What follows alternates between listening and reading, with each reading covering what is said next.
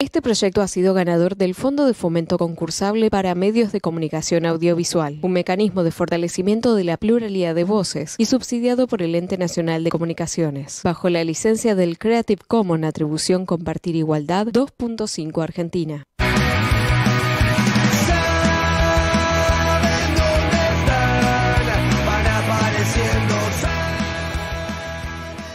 Hoy nos acompaña en este bloque de Te estamos buscando Alejandro Reynoso. Él es fotógrafo y realizó muestras fotográficas sobre nietos, nietas y abuelas. E incluso ha llegado a llevar estas muestras a difundirse en distintos países del mundo. Acaba de volver de una muestra en Francia. Así que es un gusto para nosotros recibirte, Alejandro y felicitarte por esta tarea, pero queremos que nos cuentes cómo se fue dando tu conocimiento acerca de lo sucedido durante la última dictadura cívico-militar y tu acercamiento a las abuelas de Plaza de Mayo. Hola, ¿qué tal? Buenas tardes, ¿qué tal María José? Espero que estés bien. Eh, un honor estar con vos en tu programa. Eh, en cuanto a mi acercamiento, en realidad hace años, eh, cuando decidí ser reportero gráfico, de, de muchas situaciones tomé cierta distancia. Necesitaba sentirme lo más objetivo posible, a pesar de la subjetividad que siempre tiene uno cuando hace una foto. Pero poco a poco me pareció que no me cansaba. Eh, con un colega hicimos un libro de fotografía, una compilación de fotografía sobre el terrorismo de Estado. Eh, eso me acercó a abuelas, queríamos que escribo un texto, Abuela de Plaza Mayo, Estela, le fuimos contando el proyecto, me fui acercando, surgió eh, la necesidad de hacer una muestra sobre la historia de abuelas y eso, se transformó en un libro. El libro y la muestra estuvieron en, muchos países y en, muchas situaciones muy, este, muy ricas, muy interesantes.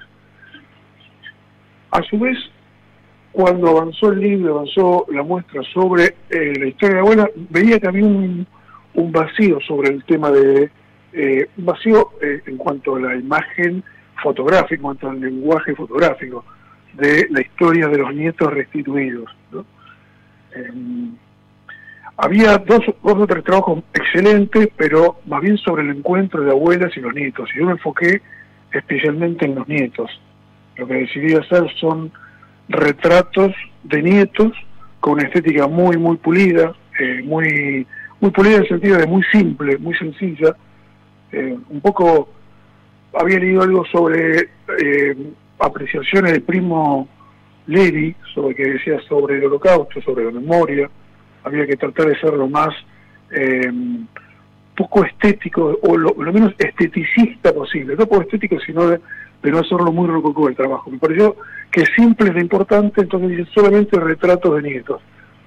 El retrato muy simple de los nietos me llevó un año, lo acompañan textos, mini biografías de eh, eh, María Eugenia Ludueña, que escribió sobre el tema, escribió sobre Laura, la hija de Estela, son textos muy lindos, muy informativos y poéticos a su vez. ¿De qué es más o menos? Yo sé que preguntaste por mi origen de acercamiento al tema. Este, pero ya me acerqué de ahí. En lo personal, eh, no tengo ningún contacto directo. En la época de la dictadura, cuando fue el golpe, tenía 12 años. Cuando mi familia se entera de la situación, simplemente como muy clase media, este, se quedó del molde, no dijo ni mu, y no tengo ningún familiar, ningún pariente, ni ninguna persona eh, muy cercana. ¿sí? las cosas del barrio, las cosas de... Yo vivo en, en Malaber, en Partido de San Martín. Eh, pasaban los tanques y demás. A medida que fui ¿Cómo, ¿cómo, se te ocurrió tomar este tema y cómo se te ocurrió empezar a trabajar con los nietos? Eh, sentí una necesidad importante de tratar de reflejar el resultado del trabajo de abuelas. Me, sentía cerca del proceso de cómo trabajaban abuelas eh, y de el, tema de memoria, verdad y justicia, ¿no? Eh, desde lo profesional. Me sentí cerca de eso, pero me pareció que estaba faltando esto que te decía, el, el reflejo del trabajo de abuela, los nietos y las nietas, ¿no? Historias muy complejas, muy verdadera, un rostro verdadero, identidades fraguadas, o sea, rostros, quería representar rostros con su verdadera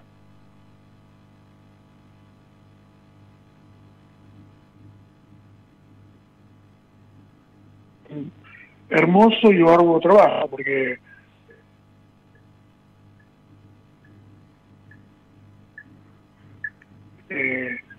tiene una vivencia muy peculiar, ¿no? Me, tocó estar más o menos vinculado con, eh, con, con, esas historias tan sufrientes, tan hermosas y tan cargadas de simbolismo, ¿no? Eh,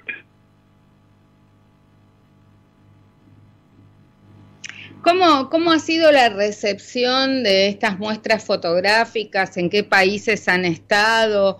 ¿En qué lugares? Me dicen que ahora estás volviendo de Francia de exponer esta muestra. ¿Cuál es la recepción? ¿Qué, impacto tienen? ¿Todavía sigue teniendo vigencia el tema a nivel internacional? ¿Vos crees que esto puede servir de alguna manera para que algún nieto o nieta más que esté en algún otro lugar del planeta lo, lo vea y se contacte con las abuelas? Mira, eh, estuvimos en, Francia, en París, hace una semana, un poquito más. Eh, ahí se relanza una campaña que se llama Argentina te busca. Esto creo que lo organiza la Cancillería, la campaña, hizo una capacitación con todas las eh, representaciones argentinas en el exterior. Entiendo que lo que está haciendo Abuelas es dar un capítulo hacia afuera, ¿no? La búsqueda en el país es importante, recordemos que hay 500 eh, casos de niños robados, 130 resueltos, ¿no? Lo que falta es mucho, mucho trabajo. Y hay una sospecha importante que fuera del país debe haber una buena cantidad de nietas y de nietos. Eh, la muestra esta de los retratos de nietos hace unos años estuvo vía gestión de hijos, Asociación Hijos, a quien reivindico eh, que me parece que hacen un trabajo muy, muy importante.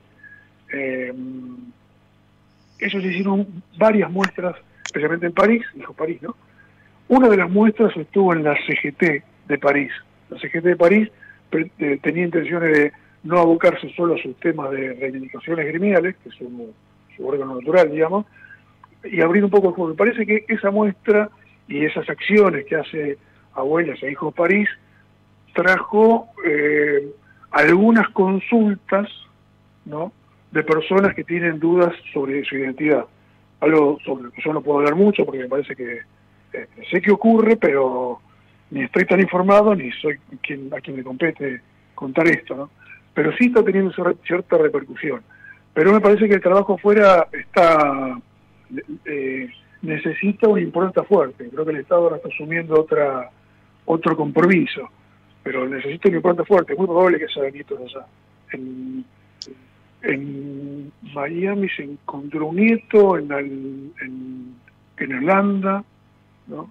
y así creo que hay varios casos más. Este, pero bueno, ahora en la muestra está aquí, en, el Palacio Pisurno, está en Casa por la Identidad, eh, y, en la sede del personal de, esto se llama algo así como eh, organismos de control. En la calle Mitre.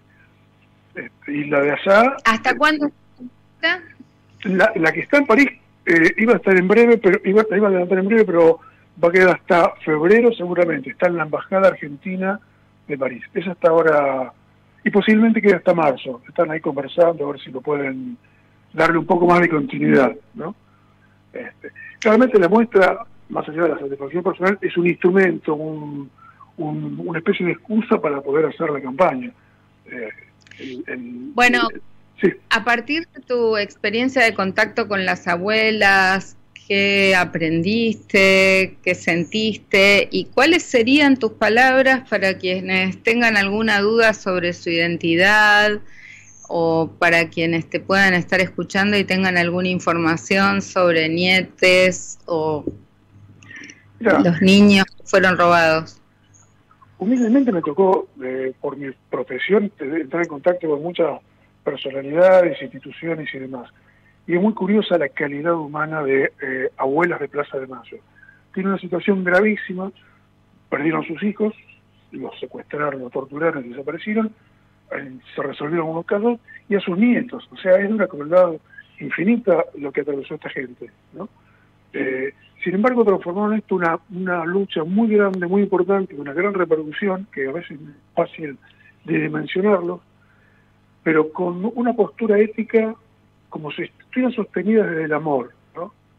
que es como fácil decirlo, es como utilizado, pero me tocó ver acciones eh, con un sentido profundo de, amor, ¿no? y vemos que no es poca cosa.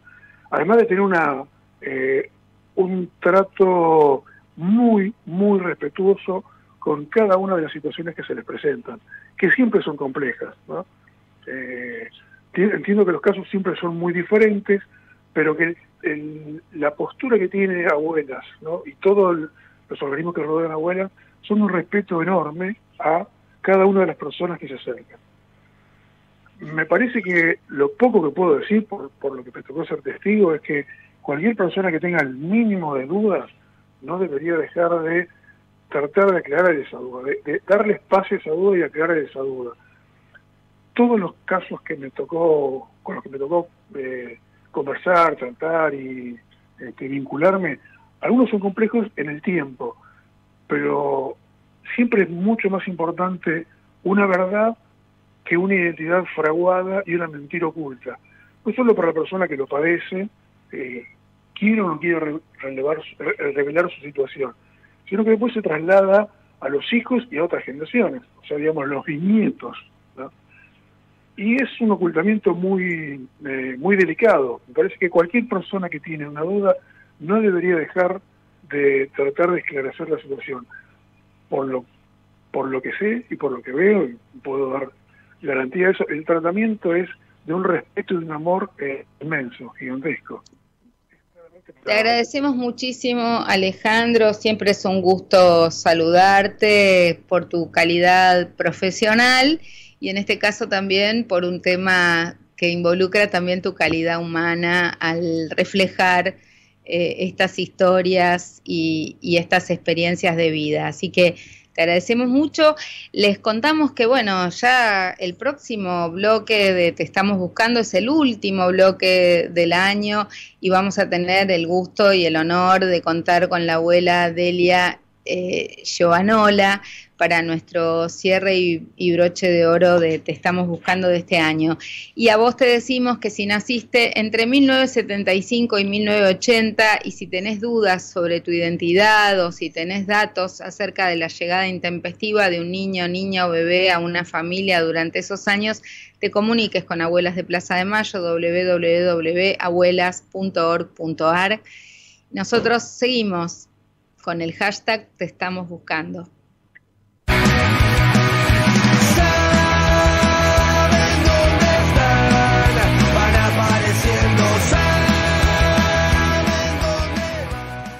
Proyecto ha sido ganador del Fondo de Fomento Concursable para Medios de Comunicación Audiovisual, un mecanismo de fortalecimiento de la pluralidad de voces y subsidiado por el Ente Nacional de Comunicaciones, bajo la licencia del Creative Commons Atribución Compartir Igualdad 2.5 Argentina.